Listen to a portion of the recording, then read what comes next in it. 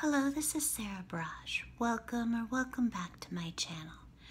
So I wanted to do a video thanking Geoffrey Rush, the famous Australian actor from the Pirates of the Caribbean movies and a million other movies. He recently was actually at the beginning of July, but he had a really stunning legal victory in court against Sydney's Daily Telegraph. I think that's the right name. I think that's the right name of the newspaper. Uh, one of the, it's a newspaper owned by uh, Murdoch. And uh, so, anyway, so he had a really stunning legal victory in court against them. Um, the court upheld uh, a substantial award monetary award to Geoffrey Rush. I believe it was a record breaking monetary award for a defamation case, I believe. Um, I'll double check. But anyway, so uh, Geoffrey Rush had been, per him, falsely accused of sexual harassment and these false accusations he was defamed by Sydney's Daily Telegraph uh, the newspaper, and uh, then Geoffrey Rush obviously subsequently sued them for defamation and won and was awarded a very substantial monetary award.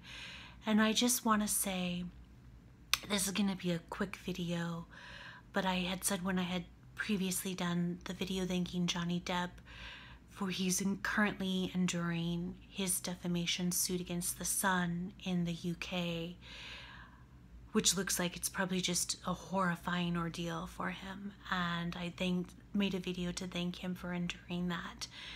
Uh, and I want, said that I wanted to do a video thanking Geoffrey Rush for enduring his defamation suit and for securing this amazing legal victory because I obviously may never get my day in court.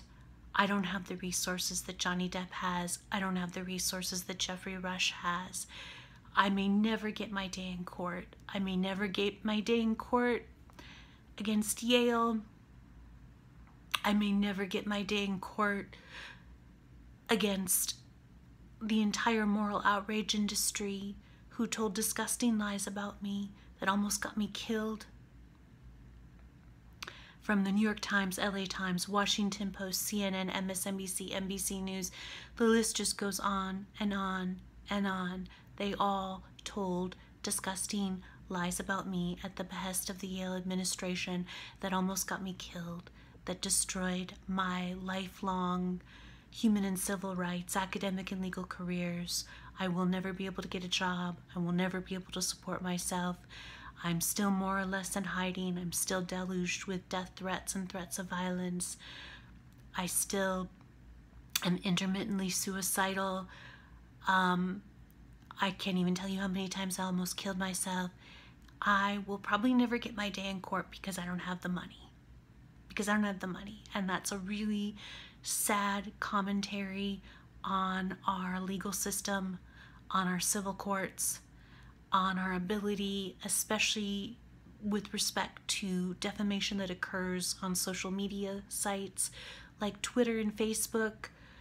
Um, Facebook still allows Lolade Siyonbola to have up the video that she took of me on May 8th, 2018, which was the grossest violation of my privacy. It's the middle of the night. I'm standing the threshold of my own isolated dorm room, Yale dorm room, and it was perfectly obvious that that video is a campaign to publicly shame me for my mental health disabilities.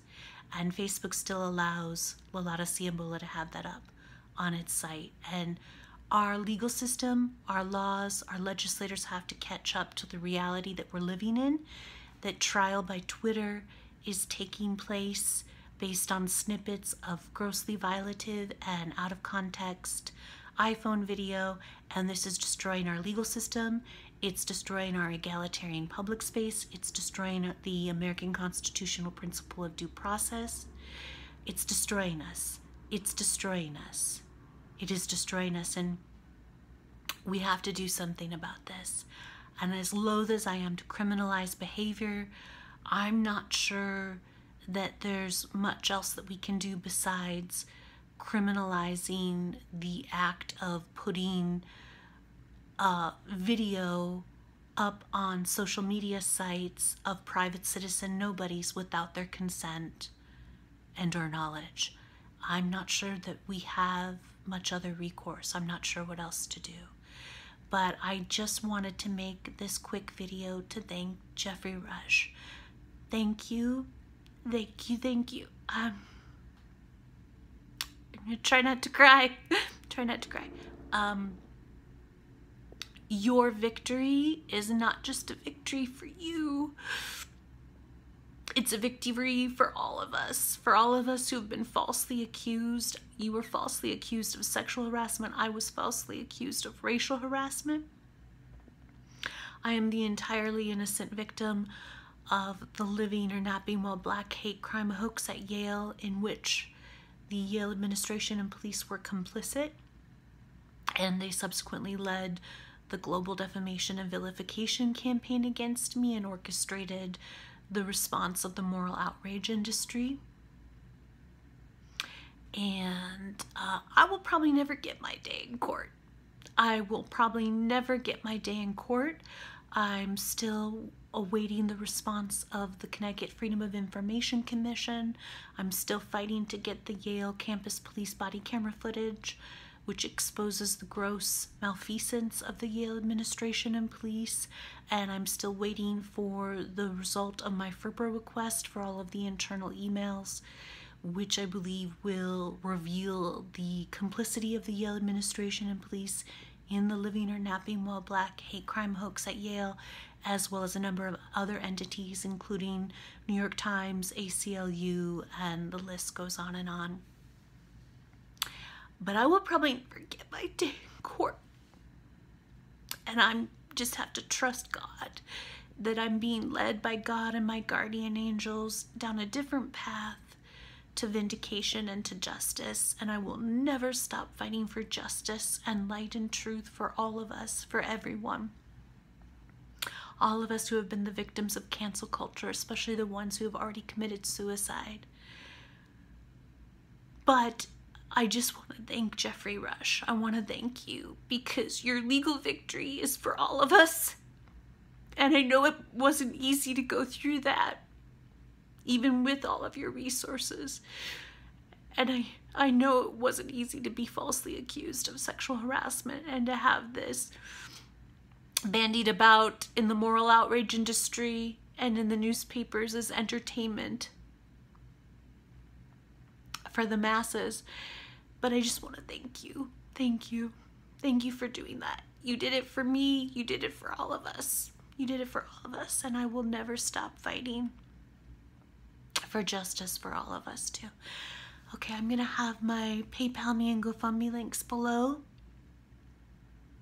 Um, please, if you can, support my legal fund so that I can at least sue Yale, hopefully, for their gross violations of my federal civil rights. Thank you so much. I'm only alive because of my supporters. Thank you. All right. I'll talk to you later. Bye.